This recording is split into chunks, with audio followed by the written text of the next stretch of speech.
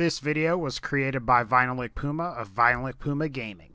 What's going on, guys? This is Vinylic Puma, and today I'm back with another Fallout 4 Top 5. Today we're going to be looking at the top 5 best unique heavy guns and weapons in Fallout 4. Now, of course, heavy weapons consist of miniguns, Gatling lasers, missile launchers, Fat Man launchers, and other weapons like the Broadsider and the Junk Jet. So, without further ado, let's start the countdown. Number 5.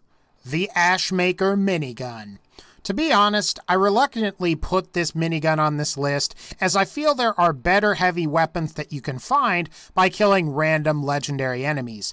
However, since this is a list of unique heavy weapons, I figured I'd go ahead and I'd include it.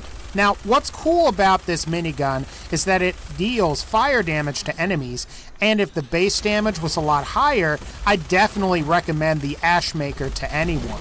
Um, it's definitely an improvement over the regular miniguns that you can find throughout the game. However, I do feel it is outclassed by other weapons, uh, maybe like a random Gatling laser or a random legendary minigun that you could find in the game. Now, in order to obtain the Ashmaker, you need to either betray Bobby during the Big Dig side quest, or you need to kill Fahrenheit and loot it off her corpse. Number 4. The Broadsider. So this is a unique heavy weapon that allows you to fire cannonballs at enemies, and in my opinion, the Broadsider functions a lot like a regular missile launcher with less range. Um, unlike many other unique weapons in the game, uh, the Broadsider does not have a non-unique variant. While I don't think it's insanely powerful, it is a lot of fun to use, and you'll notice that it does more damage in VATS than you might expect. The Broadsider is obtained during the last voyage of the USS Constitution side quest, and you get this by siding with Captain Ironsides, the sentry bot. Number 3. The Final Judgment.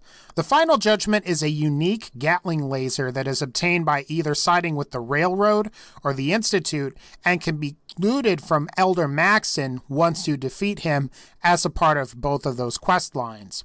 What's nice about Gatling lasers in general is that they don't use fusion cells and instead use fusion cores, which is basically the item that's used to power your power armor. Um, of course, this allows you to save your fusion cells for your other weapons.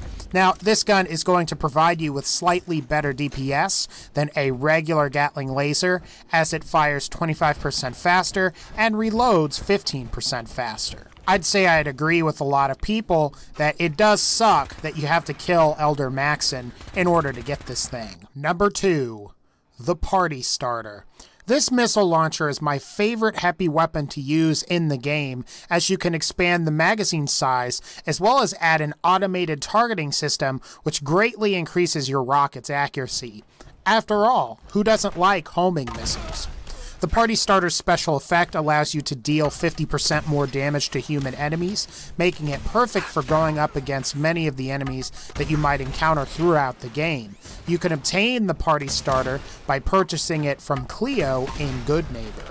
While it is pretty expensive, it's a fantastic weapon once you've fully upgraded it. And finally, number one, the Big Boy Fat Man Launcher. I would say that this is probably the best weapon in all of Fallout 4, as it's not only a Fat Man launcher, but it also fires two projectiles for the cost of one. While you can't perform a lot of modifications to it, you can modify this weapon to fire MIRVs, which will virtually one-shot anything in front of you. Of course, the downside to this is that it's very easy to kill yourself with this gun, and it can be very difficult to gauge the proper distances when trying to hit enemies. The big boy is very expensive, and while I'd say it's not very versatile, it's without a doubt um, that it is a very powerful gun. Now, if you want to get the big boy, you can purchase it from Arturo in Diamond City. Anyway, guys, I think that's going to pretty much wrap up this particular top five. If you like this top five, please be sure to leave a like. And as always, take care, and I'll see y'all next time.